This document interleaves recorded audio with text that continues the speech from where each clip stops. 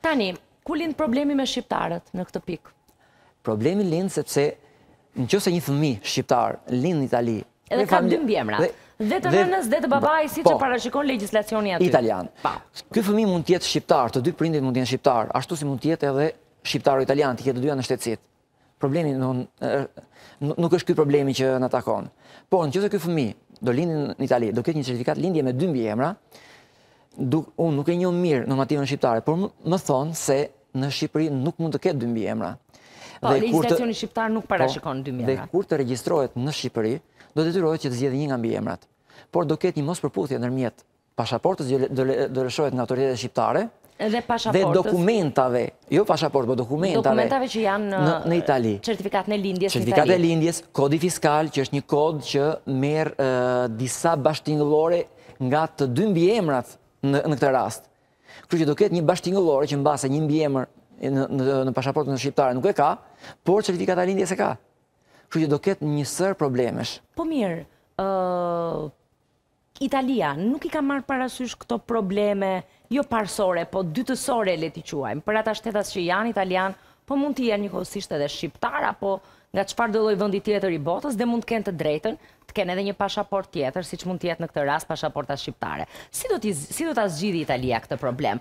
Më duket më shumë është problem i që duhet ta zgjidhin me shtetin italian apo duhet ta zgjidhin me shtetin shqiptar. Domethënë duhet të bëjë ndryshime në legjislacion dhe Shqipëria për gjithë këtë kategori që mund të përballen me këto probleme.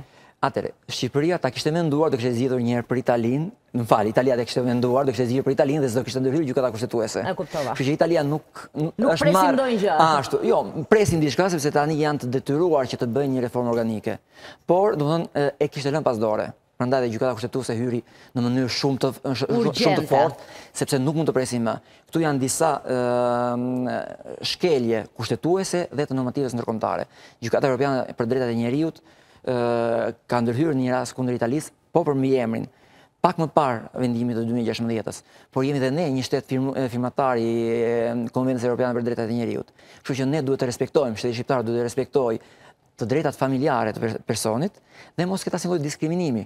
Dhe mund të jetë diskriminim i personit duke qenë se lind në Itali dhe në Shqipëri nuk mund të ketë, domethënë atë identitet që me cilin lind. Kush duhet ta zgjidhë? Italia apo Shqipëria? Secili për vendin e vet. Secili për vendin e vet, që do të thotë nga këto ndryshime të fundit i lind detyrë edhe autoriteteve shqiptare të fillojnë ta shohin legjislacionin për këtë kategori.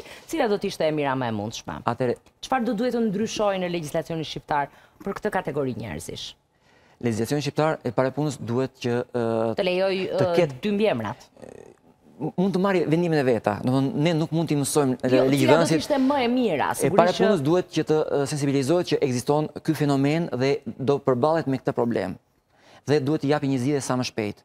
Por duke qenë se baza e vendimit të gjykatës kushtetuese italiane, ishin dhe dy nene të Konventës Evropiane për të Drejtat e Njeriut, neni 8 dhe 14, mund të ketë reflekte dhe në qoftë se ky problem do haset në Shqipëri, sepse shumë lehtë mund të shkojnë në gjykatën Evropiane për të Drejtat e Njeriut. Sepse shkelet konventa.